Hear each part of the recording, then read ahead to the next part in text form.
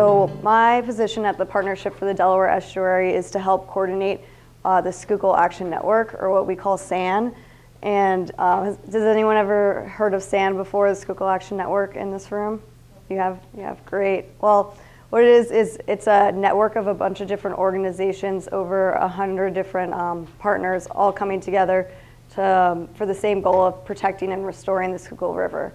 So it's not its own organization, it's a network of different partners, and it's a non-regulatory network, so um, anyone who's uh, part of this is doing it um, voluntarily. And how it's organized is around these different work groups, um, which are main topics in the watershed. Um, some of them are water quality issues. So we have um, abandoned mine drainage, which uh, you learned a lot about this morning, um, agriculture work group, education and outreach, um, pathogens and compliance, stormwater, uh, a new recreation work group, and watershed land collaborative, which is focused on land protection. And this is our website, which is schuylkillwaters.org. Um, anyone can become a member um, and get information more about the Schuylkill. Um, you'll get email blasts about our different work groups and project updates.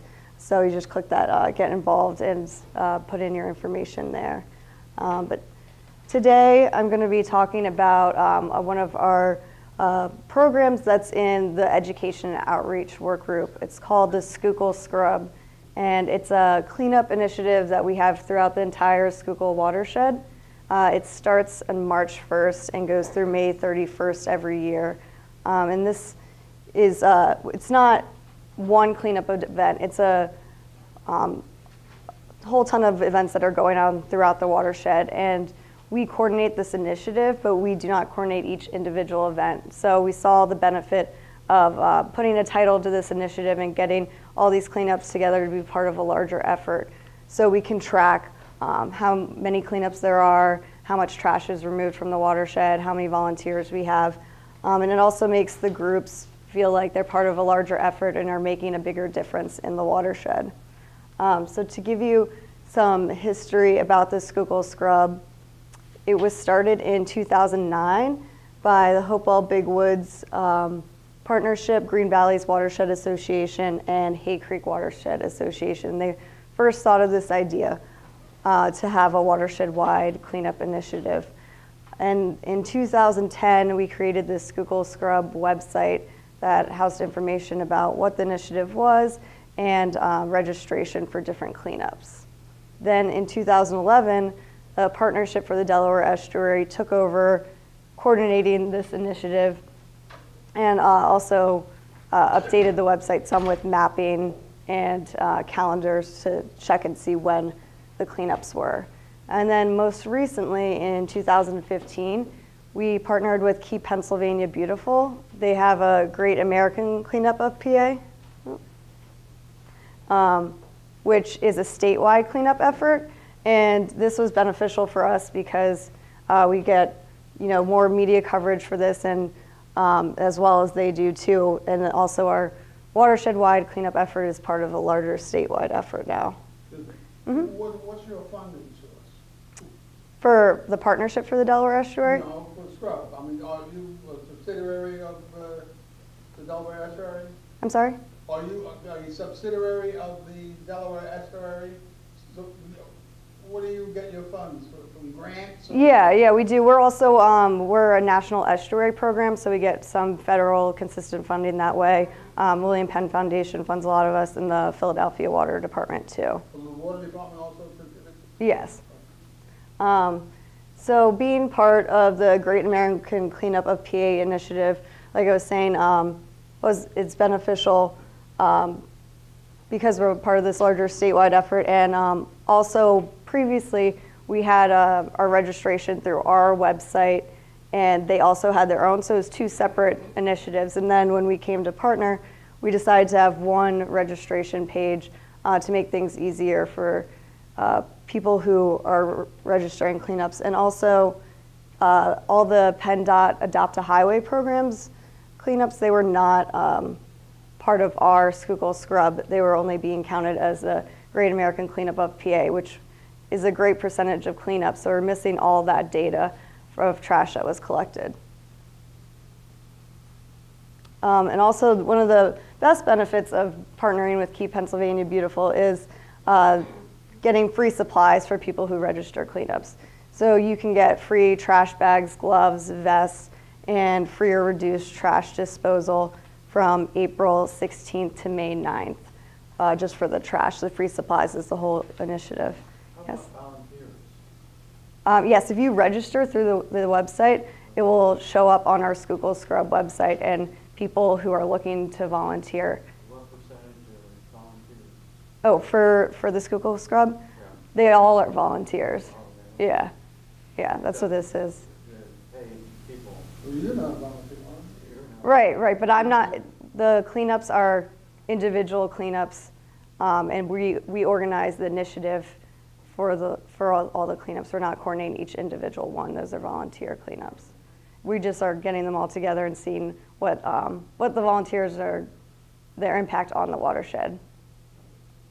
Um, yeah? Um, Any effort to recycle the stuff that you collect?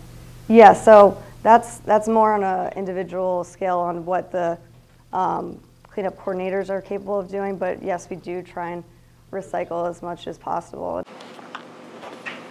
Um, So what I was saying with the data collection, this is uh, really important for us. We get, uh, Keep Pennsylvania Beautiful has been collecting data on their Great American Cleanup for years. So we get data from them on the amount of trash collected, uh, number of volunteers, total events, and this is from last year throughout the whole entire state. So as you can see, um, you know, we had over 6 million pounds of trash collected in the state of Pennsylvania just through volunteer um, trash cleanup events, which is great. Schuylkill Scrub in particular in the Schuylkill watershed last year.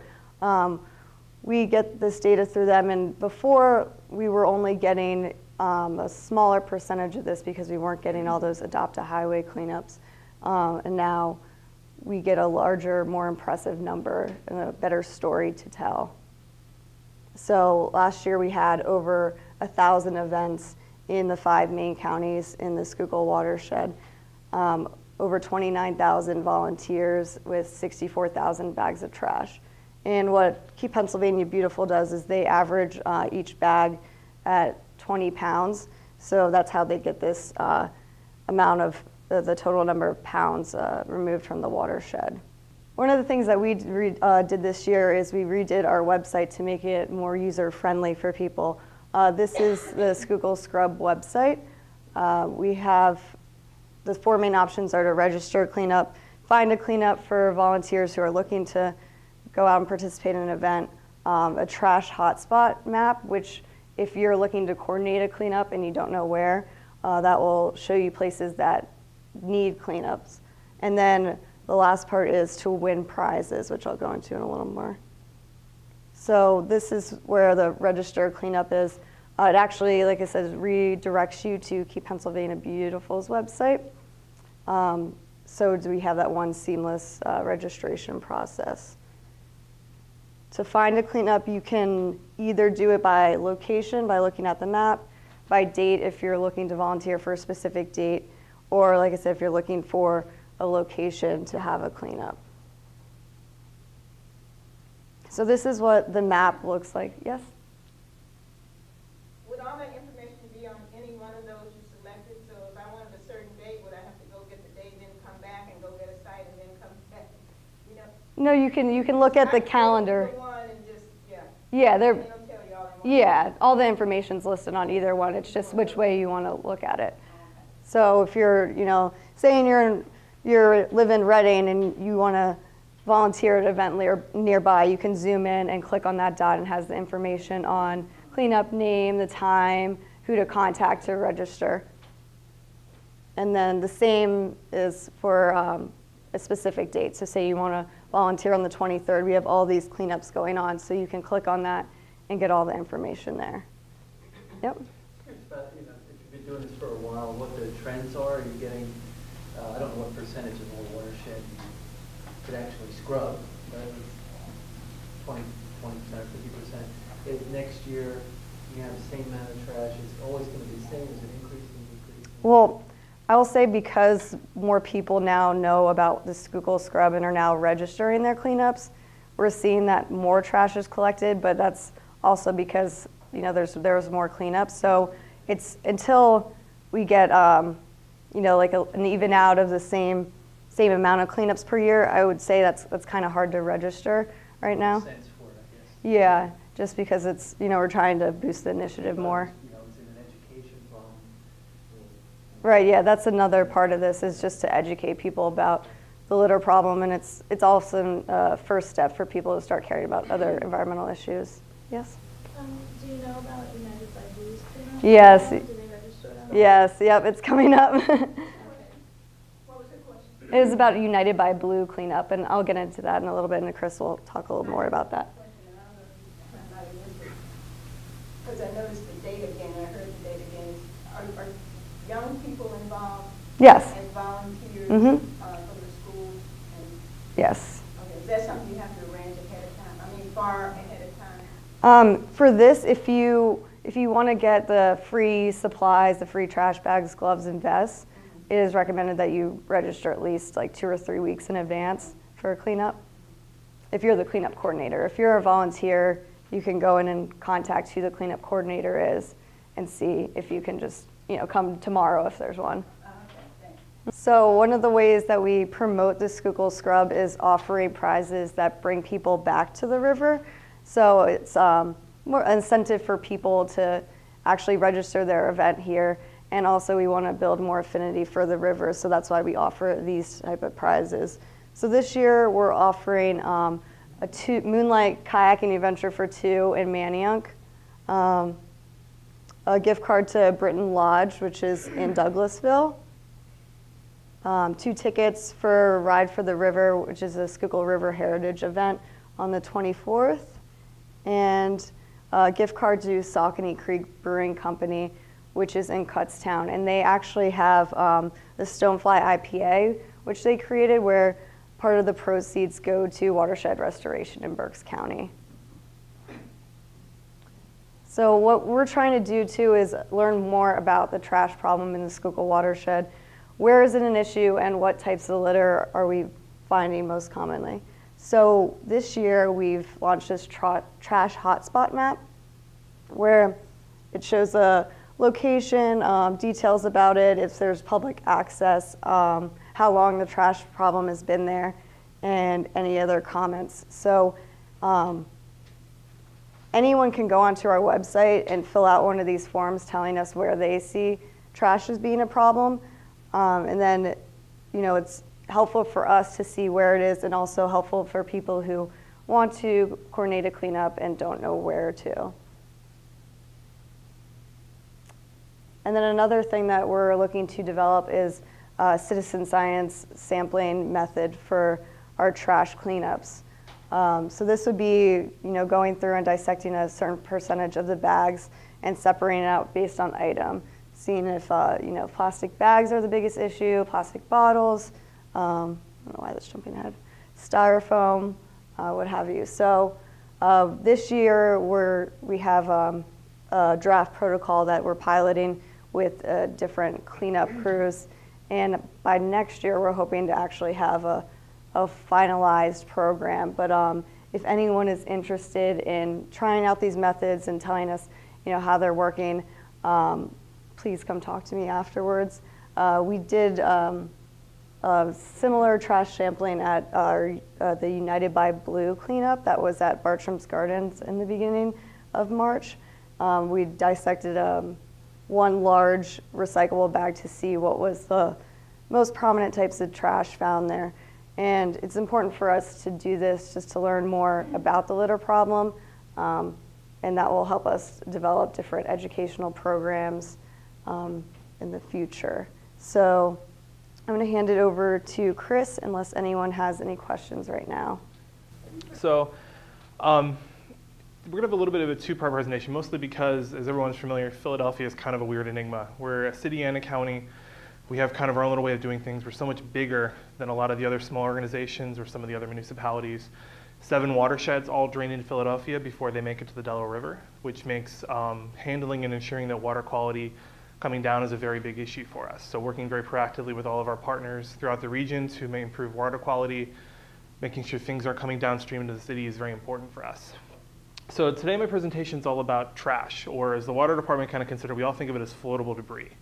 So if you hear me use the word floatables, that's basically everything from cans, plastic bags, tree limbs, all the stuff that floats in the water that can be considered waste. We call floatables. So specifically today, I kind of wanted to kind of go into a little bit more detail about how the water department engages the public about trash, tries to create more awareness, and tries to really drive a lot of our education and volunteer programs.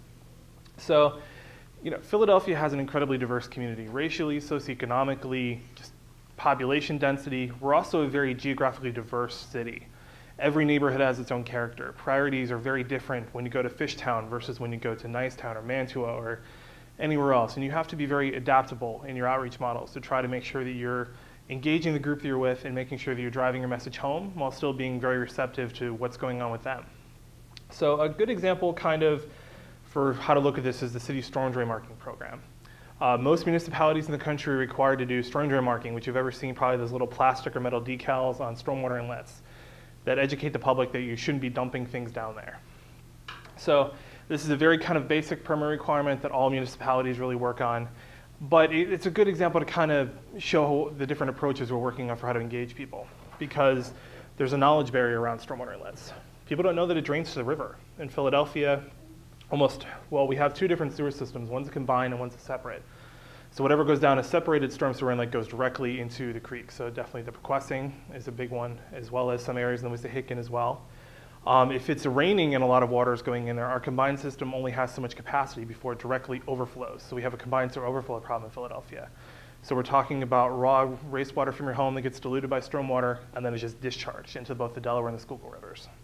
So trying to show that anything you put down there during a rain event or anything could potentially go back into our waterways. Also, most people don't know that Philadelphia gets all of its drinking water from the Delaware and the Schuylkill rivers. So there's not really that cyclical connection between what I put in is what I'm potentially taking out. And also, it's what I'm paying to take out to clean for me to drink and use every day. So, challenging historic behavior.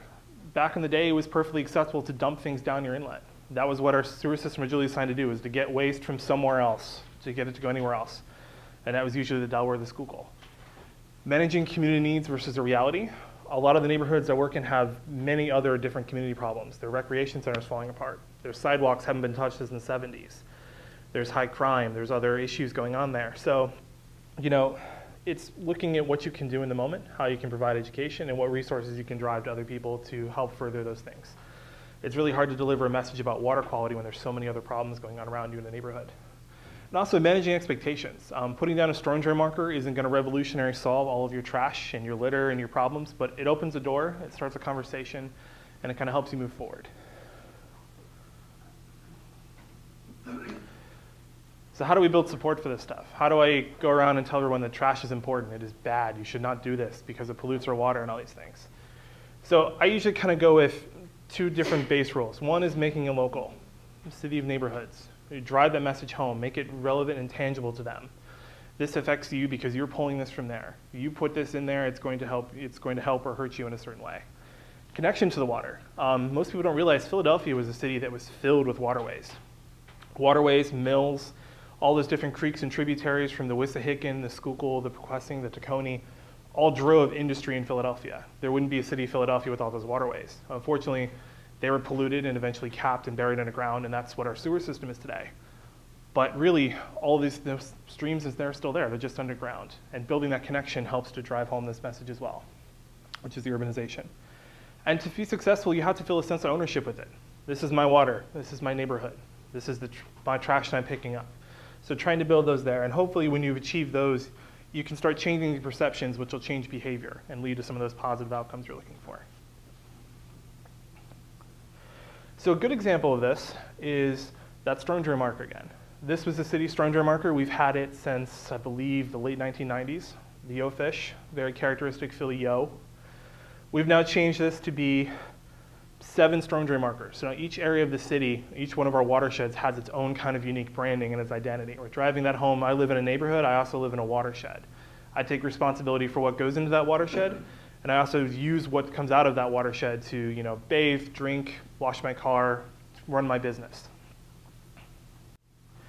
So one of these new programs we're also working on is we have a watershed identity, but we're also, you know, trying to tackle those main sources of where all this stuff comes. Like, what's a really obvious way we get all this like trash and floatable debris? And uh, one of our new partners came out this year, the Schuylkill Navy Philadelphia. They're one of the umbrella organizations that manages all the regattas on Boathouse Row and those things. And you know, got us to thinking, talking with them, just the sheer amount of thousands of plastic bottles they use every single year for you know 10 or 15 different regatta events, 100 teams in a regatta you know, each one of them two or three bottles of water. They're bringing thousands in for each day. So what, what, what can we do to reduce that bottle load? And what we came up with is Philadelphia Water is piloting four new watering kiosks on Kelly Drive, adjacent to a lot of the regatta events and some of the other recreational areas. And for the head of the Schuylkill Regatta, which is the big sort of watershed event, if you pardon the pun, on the Schuylkill every year in Philadelphia, Philadelphia Water, Parks and Recreation, a couple other partners purchased 10,000 re reusable water bottles to give to every single one of the athletes as kind of a way to drive home that message of kind of building and reusing those water bottles. And along with that too, we've started a different kind of an ad campaign to drive home the fact that you know using a reusable bottle is a better way to go. In a lot of cases, Philadelphia water that you come out of a tap that's been treated by the department is actually cleaner than some of the bottled water you find because they're not held to the same kind of treatment restrictions, and quality standards that municipal drinking water is. So really trying to kind of drive home that up that there are other options.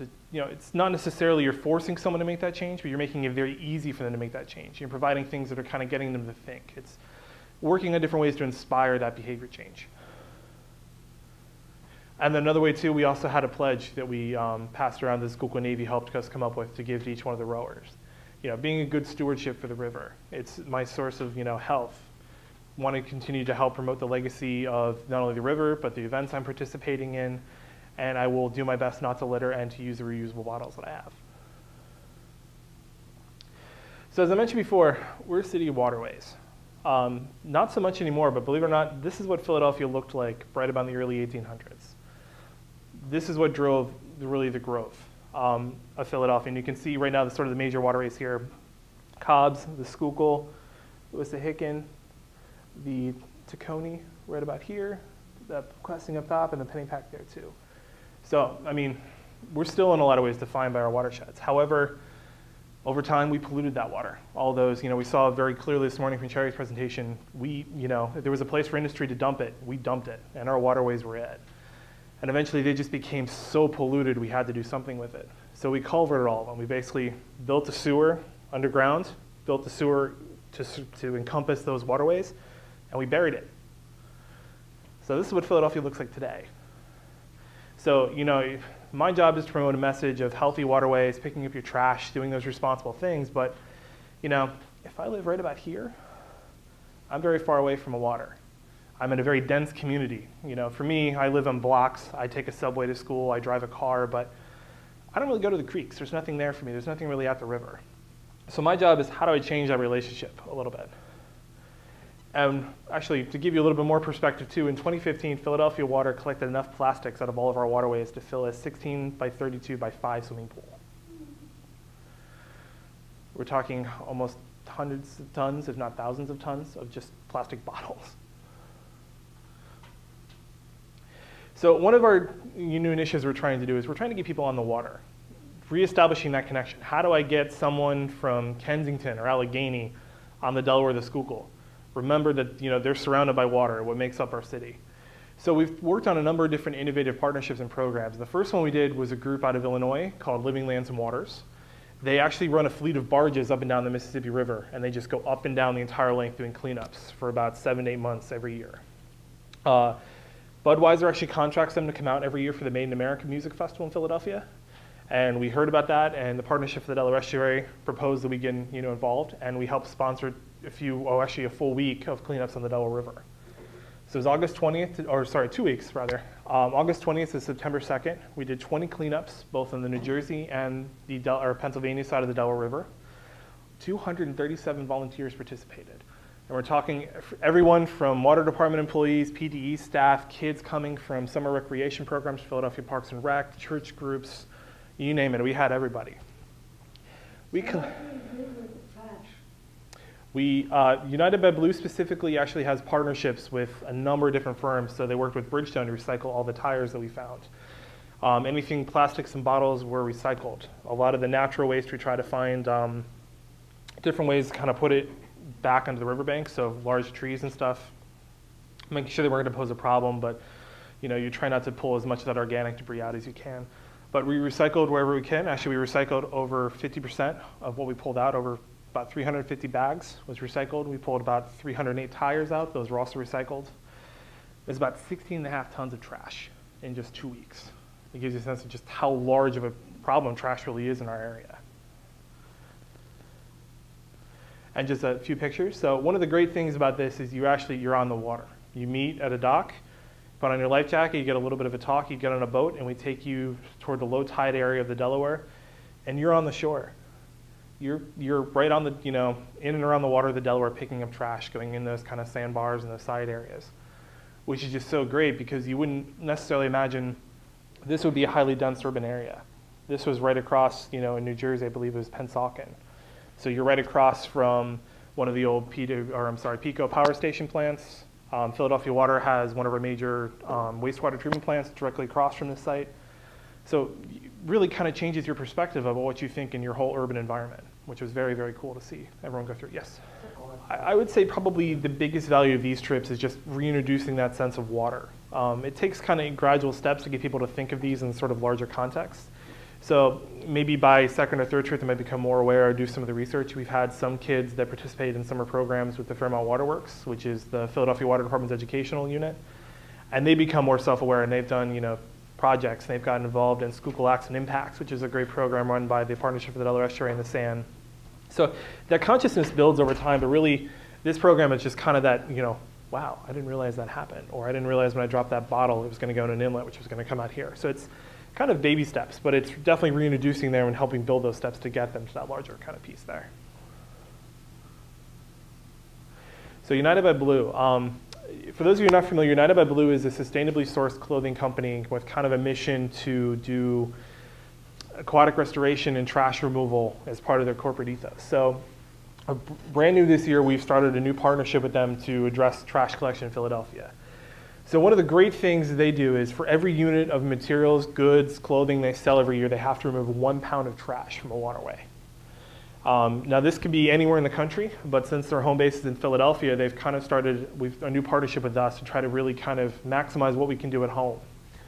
So for 2016, they're looking to sell 400,000 units, which is 400,000 pounds of trash, or about 200 tons. So quite significant. We've set up at least six cleanups with them this year, and they're also working with the Water Department's Waterways Restoration Team, which we have a specialized crew that goes out and actually handles large cleanup jobs in our waterways. So large short dumping incidents. Um, back in the 90s, they were the crew that used to pull all the cars out of you know, the Tacony and some of the areas in the Cobbs.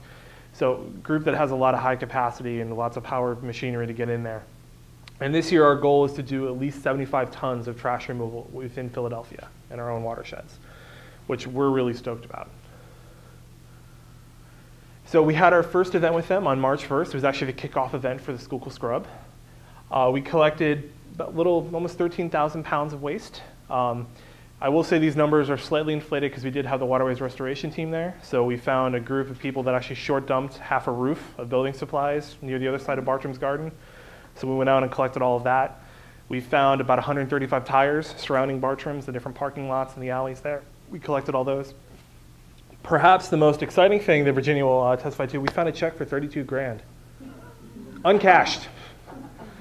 Uh, I think they actually destroyed it, just to be on the safe side. Um, you know, it was still within its post-date range, so it probably could have gone to a bank, but you know, uh, that was probably one of the more unique items I think we've all can say we found at a cleanup. So you never know what you'll find out there. But we, we pulled a pretty solid about 10,000 pounds of trash out of there, and not including some of the heavier stuff that had to go in for specialized crew. But, and this was over two hours in an area that's fairly well maintained by the Parks and Recreation Department and also the great staff at Bartram's Garden. So that goes back to that thing, you know, the more you clean, it still comes back because it's adjacent to those waterways. So it's definitely an ongoing issue. And a great picture of all the volunteers we had there. So looking forward, um, the water department is really looking to develop as many partnerships as we can. Um, we're, we're, mandated by the state and federal governments to do trash remediation and look at where it's going and how to find ways to improve that situation. So any opportunities we can do that, the better. Uh, I want to get as many Philadelphians out on the Delaware and the Schuylkill as humanly possible. We're just bought a new boat. It's coming next week. It's actually similar to one of the United by Blue skiffs. Um, I'm in Coast Guard classes now to be able to take people out on the river, so I'm extremely excited. Come May, I should be able to do that. Uh, explain our floatables management program. We actually have a fleet of boats that goes out on the Delaware and the Schuylkill and just removes plastic bottles. If you've ever seen it down in the waterworks some days, a really odd looking boat with a bunch of clamshells on the front, that's uh, the RE Roy. It's our main floatables boat. It just kind of scoops everything in together. And we have that down to three guys on a pontoon boat with nets that go up in the tidal, the non-tidal Schuylkill area and just start raking things off the banks and the trees. So anywhere we can try to get that trash, we're out to do that. And also just support, promote programs citywide. So, you know, we're always looking to develop different support. Um, TTF is doing a cleanup for Spring Cleanup Day, the Tookany-Tacony Frankford Watershed Partnership. Um, I've heard a few from people from Wissahickon Valley talk about some efforts they have going on. Friends of Wissahickon, I know, is also planning some different things. Uh, Santa, of course, definitely extending the Schuylkill Scrubs. So any way we can get involved and kind of continue to work with others, we're always on board to do. So that was a lot. Anybody have any questions? Yes. How do you handle all the trash that accumulates by the fish ladder, the old fish ladder? The old fish ladder. So that one mostly because it's in the tidal portion of Schuylkill, just below the dam, we can send that boat that has the clams to go get it. Um, that one, I believe, pulled out. Actually, I brought that. Because normally it piles up in that corner there. It does. To get to it, so it waits till the storm to blow it over other side. So we can get in there with a little bit with the boat, and then we also have access. You can get down on a path to just physically, believe it or not, we have one of our favorite things that we love to do with our interns. As soon as they tell me I'm bored, especially between the months of May and October, you tell me you're bored, I'm sending you out with a net. You're going to go pick up trash. So, you know, we have ways of getting everybody down there to pick up those things.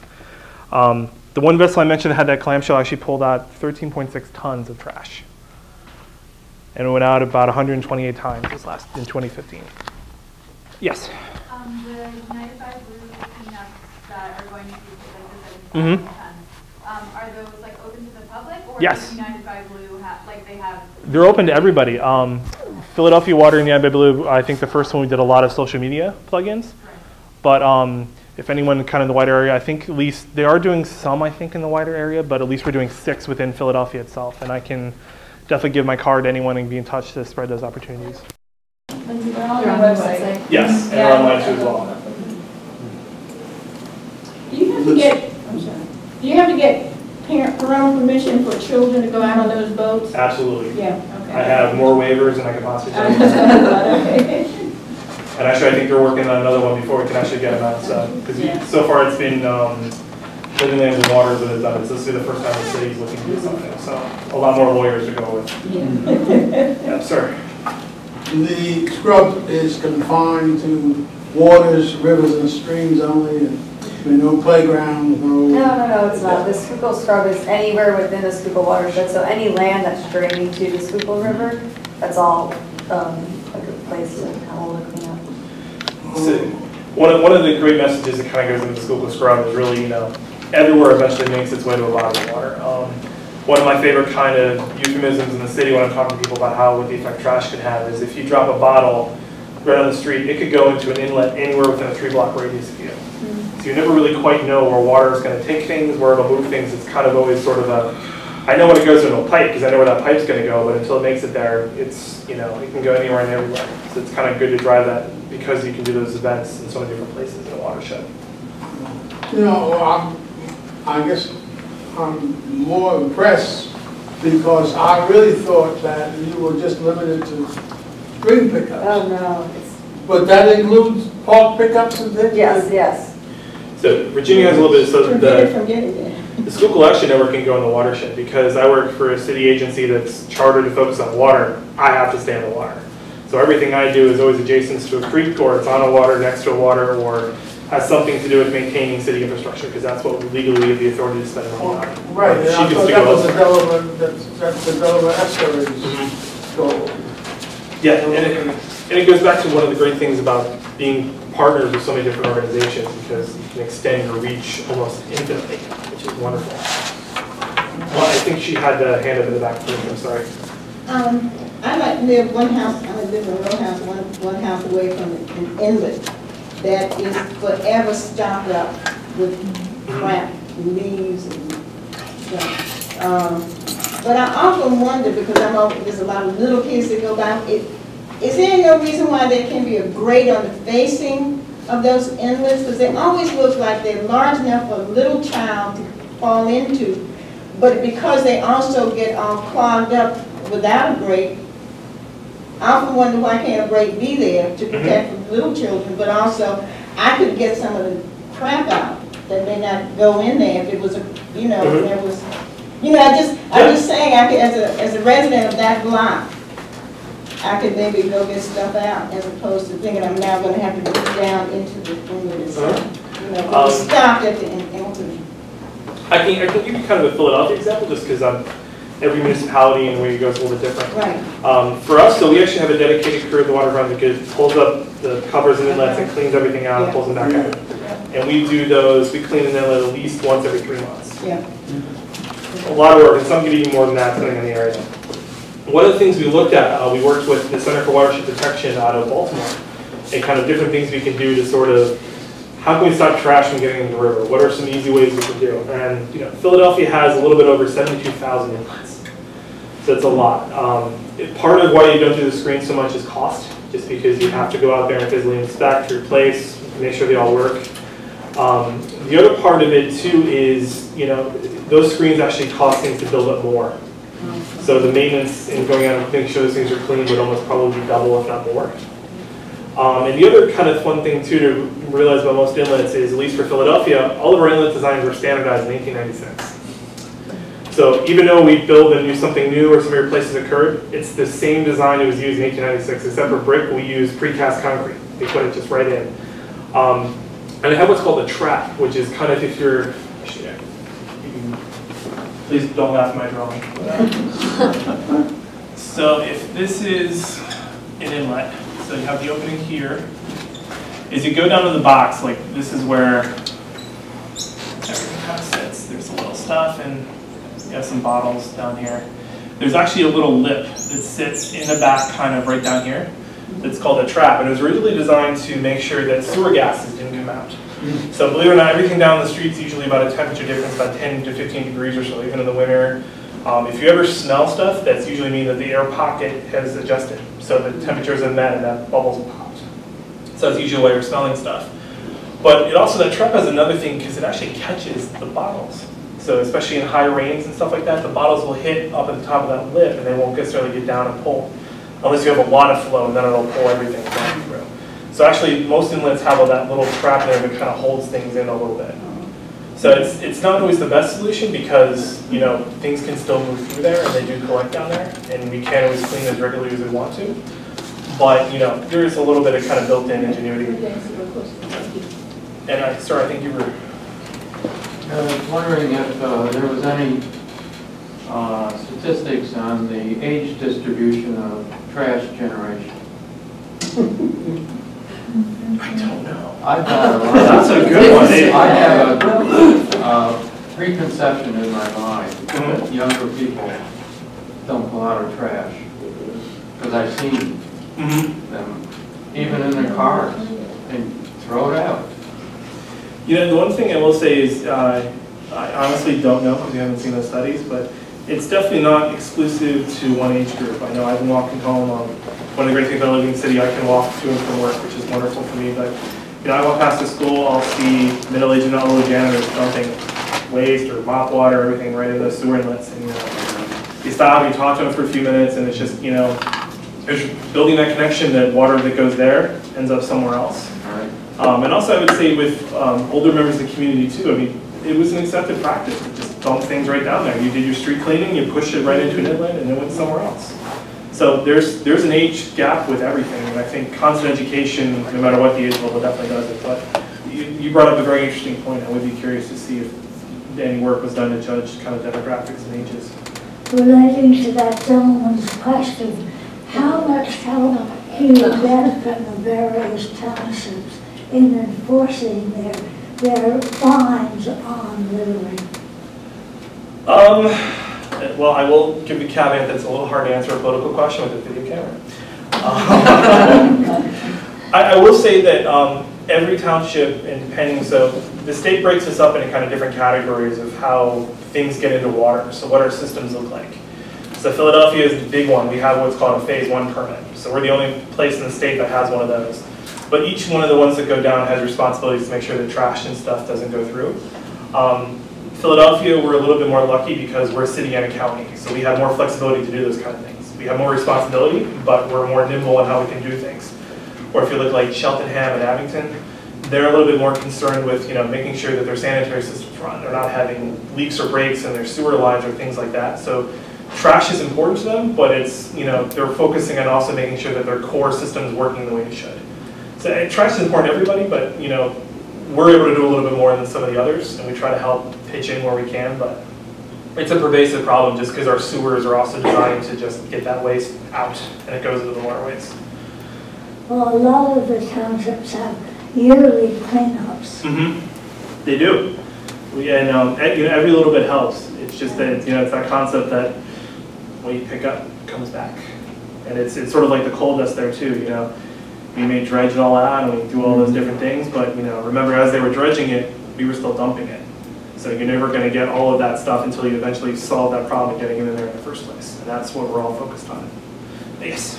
If a person was going to intern there, would they be usually affiliated with this, like working on Low River most days? Or would they be doing more paperwork type? Uh, one of the great things about, um, so we, we have a couple of different options for interns. Um, they really do everything. So uh, depending on what your major is, uh, we have ones that actually help assist our design unit in rebuilding, repairing, replacing sewers. If you're more green focused, we have ones that help with planning, designing, and building green infrastructure, maintaining green infrastructure. Uh, my co-ops help me with policy work in our watershed areas, developing public education programs, doing cleanup events. Um, and then we also have the watershed field services team and the water restoration team where you're outside every day, you know, picking stuff up and talking to people and just working like crazy. So you can do just about everything, with us, Okay. depending on sort of what you're interested in, what's your major, and kind of how you apply. Uh, can I get your business card after Sure. this, please? Thank you. Absolutely. Um, so my question was more related to the fact that I know like a lot of water in Philadelphia has been piped in the ground. Do you have, um, anywhere where you have a map of those pipes are so that people can visualize, like someone who doesn't, who lives in an area where it's, everything's Mhm. in pipe, can kind of visualize, oh, that's where my water's going, like. Or We have you do. thought thought about mapping We do actually. Um, so the, one of the odd things you wouldn't expect from Philadelphia is we're actually really ahead of um, GIS mapping. Um, The city actually has a lot of open data sharing with mapping. And the water department has a couple specialized maps that are online, um, either through our educational website, which is phillywatersheds.org, or if you go on to, um, I'm trying to think this out. I think the Planning Commission's website has the main GIS portal, and you can choose through different maps there. But you can see a lot of that. The one thing I will say is, with a little bit of a caveat, is we do have our, we call them our hidden streams, which kind of form the base of the sewer system there. We can't show you everything, just because um, the Patriot Act limits what infrastructure you can share publicly with different people, but you can definitely see the hidden stream maps and where those watersheds used to do. Uh, we also do tours pretty frequently. Um, our archivist and one of our, our public education manager are two huge history buffs. The latest one we did was the Wingohocking, which if you're ever in the Tacony watershed in the city, and you go to Tacony Creek Park, especially at Iron Ramona, you'll have a, almost a two-story fall out into Tacony Creek. That was just one of those hidden streams where it all piled up, so mammoth, you can, about three feet tall to fill it there, it's huge. So you get to, the opportunity to see those pictures and learn more about the stories and how they developed. Um, Water history in Philadelphia are kind of synonymous, you know, I do tours of all of our green infrastructure sites throughout the city too as well. And one of my favorite stops to go to is Clifton Park in Germantown. You're five miles away from the Battle of Germantown spot, and you're in a park that's topology hasn't really changed since the city was born, so it's got a very low-lying area, it's almost like a valley in a park. And that's where part of the Wingohocking stream used to run. And we have pictures, we can show you five blocks away of, you know, early 18, mid-1800s, where we dug everything out to put it all back in. Because most of Philadelphia and the areas where a lot of these were, weren't really heavily populated until, you know, the 20th century. World War II is when the city really just kind of expanded to its real boundaries. A lot of it was farm, so water plays a really heavy role, and there's always something kind of new to learn about it, which is great. And we have a lot of cool programs to learn more about it, too. Uh, Any other questions? Thank you all so much Thank for having us. thank you.